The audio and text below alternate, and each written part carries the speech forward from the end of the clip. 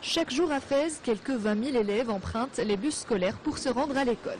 Un service dont s'est doté plus de 87% des établissements scolaires privés pour offrir confort et sécurité aux écoliers. La majorité des établissements privés y voient un service rendu aux élèves et parents d'élèves et non pour gagner de l'argent. Le transport scolaire permet aux élèves d'arriver à l'école à l'heure. Il permet aussi de réduire la congestion aux heures de pointe.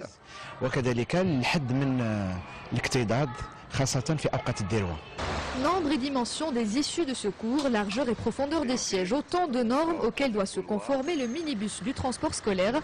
Le contrôle des 500 véhicules scolaires en circulation à Fès revient à la direction régionale des transports et de l'équipement. Le contrôle de ces véhicules se fait en deux phases. Nous nous assurons tout d'abord du respect des règles de conformité, à savoir les assurances et la visite technique, avant de contrôler l'état global du véhicule. في المراقبه ديال الحاله ديال العربه من الخارج ومن الداخل اللي تيخص يكون فيها واحد المواصفات اللي اللي, اللي تنص عليها القانون De plus, les bus scolaires doivent être impérativement munis d'un extincteur d'incendie et d'une trousse complète de premiers secours. Le véhicule doit aussi être peint en couleur jaune avec une bande horizontale l'entourant et portant sur les côtés et à l'arrière l'inscription transport scolaire en langue arabe et française.